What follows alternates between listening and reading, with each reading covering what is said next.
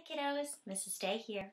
For our activity today, we're going to be going on a shape scavenger hunt. Parents, you do not have to prepare any materials before this activity. Simply sit with your children and talk about shapes. I'm going to think about a circle.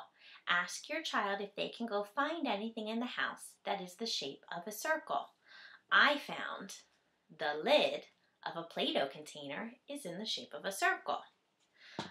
Found the top of my Legos are in the shape of a circle. See how many circles your children can find.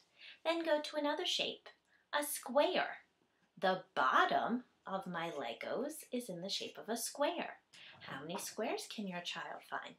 Go to another shape, a triangle. My bubble wand is in the shape of a triangle. And you can even talk about rectangles. My storybook is in the shape of a rectangle. As you are working on this activity, your child is identifying shapes and they're finding those shapes all throughout the house.